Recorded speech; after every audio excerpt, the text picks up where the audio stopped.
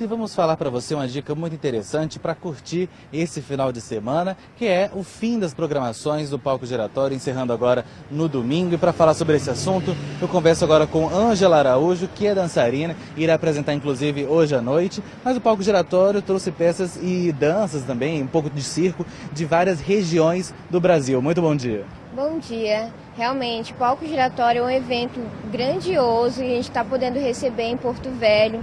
Já tem mais de 16 anos e vem apresentação de todos os estados, com atrações diversas e é, é muito bom estarmos recebendo isso. Inclusive hoje, perto já do fim, né? Perto do fim, vamos dizer assim, um, um, um grupo de teatral aqui de Porto Velho trazendo um pouco da dança. Isso. Na verdade, o, o grupo De Palma é o, a gente vai trazer o espetáculo Reconstruindo a Identidade Ribeirinha, que é um espetáculo de dança contemporânea. E conta como a história, como é que é? É, essa, durante o espetáculo a gente vai falar sobre o cotidiano, a vida do ribeirinho, é, o que eles fazem durante o dia, um pouco da, da, cultura deles, do folclore. É isso que a gente vai estar falando no espetáculo. E além disso, no sábado e no domingo também tem apresentações. Tem também. Tem no sábado tem duas apresentações de dança, um do Amazonas e um do Maranhão, e no domingo tem o espetáculo Boi de Piranha para encerrar o palco giratório.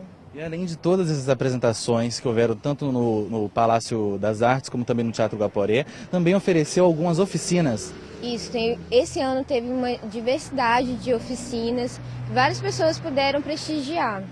Qual foi o principal intuito de todo esse palco giratório? Trazer essas peças teatrais de várias regiões do Brasil para Porto Velho.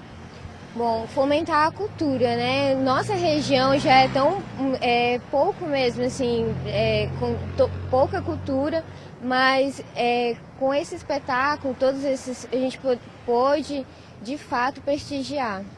E também levar realmente a população peças teatrais que nem todo mundo tem acesso, e era tudo, tudo entrada gratuita. Isso, a entrada é gratuita para todos os espetáculos, inclusive hoje. Lembrando que a gente só tem que levar, levar um quilo de alimento como doação. E além de tudo isso, a gente pode falar também em relação aos grupos aqui de Porto Velho. Tem como falar para a gente, você que está envolvida nesse meio, falar da, da, criação de novos grupos, de novas peças? É sempre bom a gente estar tá movimentando, né? Tanto no teatro quanto na dança, é sempre bom ter esse movimento. Então, nosso grupo ele é bem recente, a gente começou nossos trabalhos assim em 2000, 2009, final de 2009, mas existem muitos outros grupos que precisam do apoio, né? Então a gente precisa que o, o governo, a prefeitura apoie esses novos grupos para a gente estar tá movimentando a cultura no estado. E tem pessoas em potencial aqui em Porto Velho? Muitas pessoas em potencial. A gente já recebeu elogios e a gente vê nesse movimento muito, muito potencial, mas que não tem incentivo. E a importância também, tanto para os grupos locais, ter essa interação com outros grupos. Isso.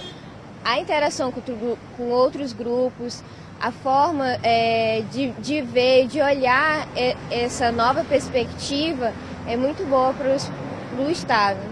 Alguns grupos teatrais também participam do palco giratório em outros estados brasileiros? Sim, todos eles uh, basicamente passam por todas as outras regiões do Brasil.